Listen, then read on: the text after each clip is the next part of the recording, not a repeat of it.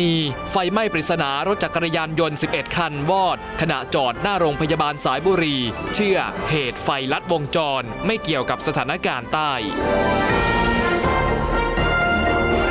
ครอบครัวและเจ้าหน้าที่อบจขอนแก่น ยื่นหนังสือถึงอายการจังหวัด ขอให้พิจารณาสั่งฟ้องสี่ผู้ต้องหายิงนายสุชาติโคตรทุม ปลัดอบจก่อนเกินวันฝากขัง เกรงจะไม่ปลอดภัย พร้อมค้านประกันเต็มที่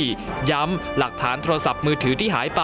น่าจะมีประโยชน์ต่อรูปคดี เอาผิดคนอยู่เบื้องหลังทั้งหมด จังหวัดลำปาง แจ้งความคืบหน้ากรณี กสท สาขาเถินจังหวัดลำปาง ส่งใบแจ้งหนี้ค่าใช้จ่ายอินเทอร์เน็ตระบบ 3G แก่โรงเรียนแม่เชียงรายวิทยา โดยมีค่าใช้จ่ายสูงถึง 520,000 บาทในรอบปีเดียวนั้น น่าจะมีความผิดพลาด เนื่องจากค่าใช้บริการสูงเกินจริงมาก สเปนกำลังเร่งสืบสวนเพื่อสรุปหาสาเหตุที่ทำให้ขบวนรถไฟโดยสารตกราง ก่อนถึงสถานีในทางตะวันตกเฉียงเหนือเมื่อคืนวันพุธทำให้มีผู้เสียชีวิตอย่างน้อย 80 รายตำรวจได้สอบปากคำพนักงานขับรถวัย 52 ปี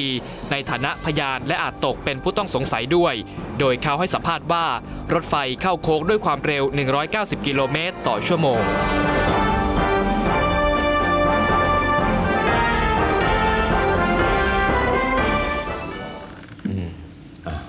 มมีครับข่าวนะครับประชาสัมพันธ์จากการไฟฟ้านครหลวงนะครับ ก็เดี๋ยวนี้สุดสัปดาห์การไฟฟ้านครหลวงก็จะทำงาน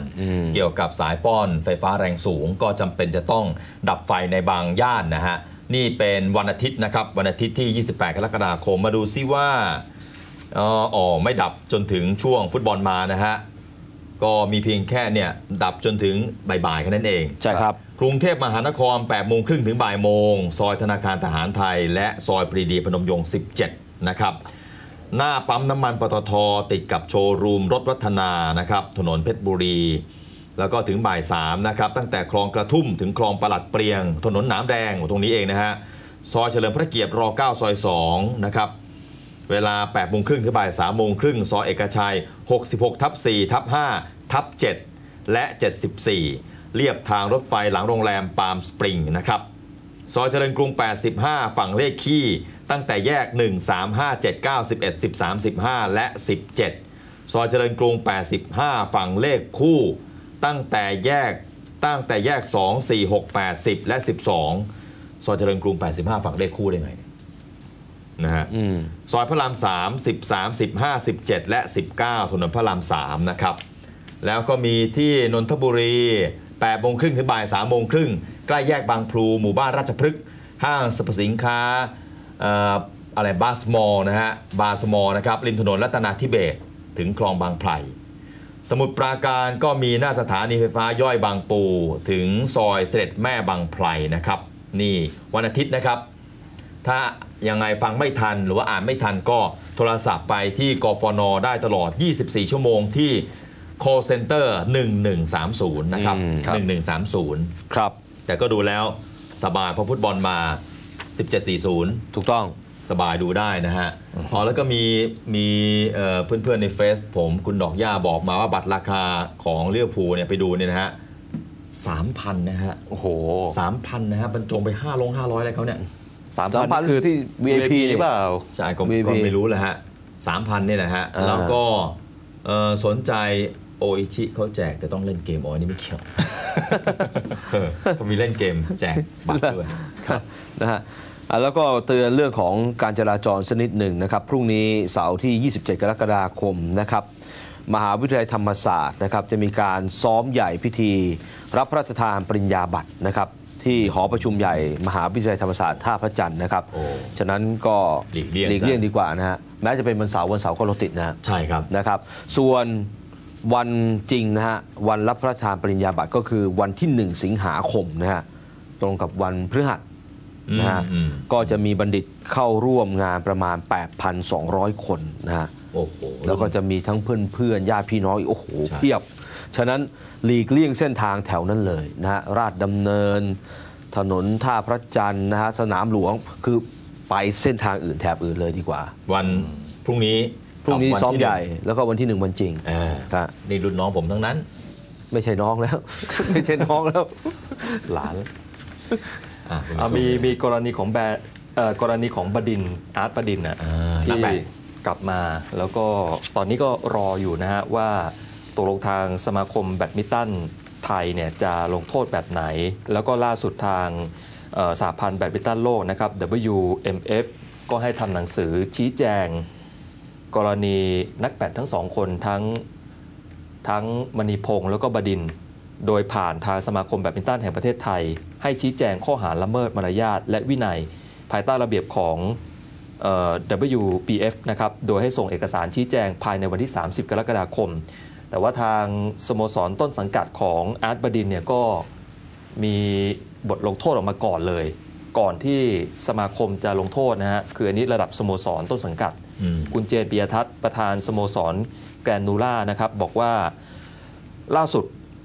ได้สั่งห้ามบดินอิสระแข่งขันทั้งภายในประเทศและต่างประเทศ นับตั้งแต่บัดนี้เป็นต้นไป เป็นเวลา 5 เดือนจนไปถึงเดือนธันวาคม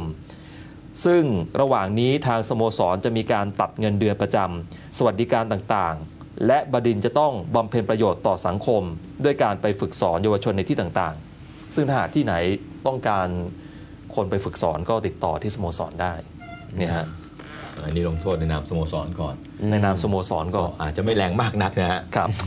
นี่นะฮะก็ต้องดูของทางสมาคมเรานะครับครับ 27 ถึงจะรู้เอ่อพรุ่งนี้เลยนะฮะพรุ่งนี้รู้แล้วนะฮะเออใช่พรุ่งนี้รู้สมาคมอย่าลืมว่าทางทางสาพันธ์แบดมินตันโลกเขาดูด้วยนะฮะว่าเราลงโทษเนี่ยเอ่อเหมาะสมสะสมแค่ไหนนะฮะ อืมครับอืมเอาละครับอะปิดท้ายวันนี้นะครับ ภาพนี้เกิดขึ้นที่เกาหลีใต้นะครับ เมื่อวานนี้เองนะครับ บนถนนสายหนึ่ง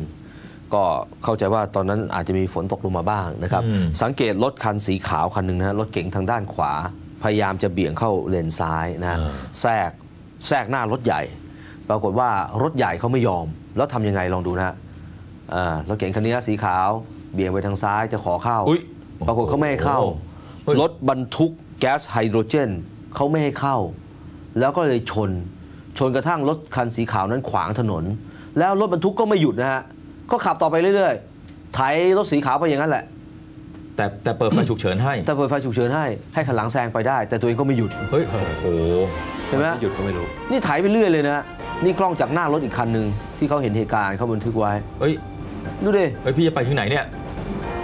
คือรถใหญ่ไม่หยุดเลยนะ ฮะเฮ้ยหลุดไปแล้วฮะ จนกระทั่งคันสีขาวเนี่ยหาจังหวะหลุดออกไปเองอืมมันอย่างนี้มันลำบากเลยนะฮะเออไอ้จังหวะที่จะหลุดบางทีมันคว่ำได้นะ ใช่ มันจะหลุดยังไงในเมื่อไอ้คันใหญ่มันไม่ยอมไม่ยอมหยุดเใช่ไอ้คันใหญ่มันต้องหยุด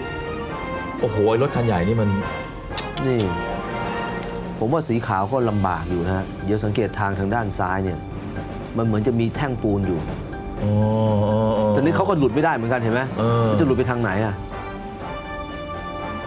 ก็ยอมให้ คือรถถ้าเจอสภาพแบบนี้นี่มันรถคันสีขาวเนี่ยควบคุมตัวเองไม่ได้นะฮะใช่ มันโดนดันข้างตลอด รถคันใหญ่ต้องหยุด เออ นี่ไม่หยุด โอ้โหอันนี้เยี่ยมเกรียมมากเออเยี่ยมเกรียมมาก ลากไปไกลอย่างไรนะ แล้วกะเปิดไฟฉุกเฉินกะกะดันกันยาวเลยอะอืมหรือคันใหญ่มันแบบคิดว่าถ้าเกิดหยุดกระทันหันมันจะมันจะพลิกอย่างนี้ป่ะเฮ้ยมันวันนี้มันก็น่าจะชะลอได้นะใช่ไหมนี่นะฮะ อันนี้เกิดที่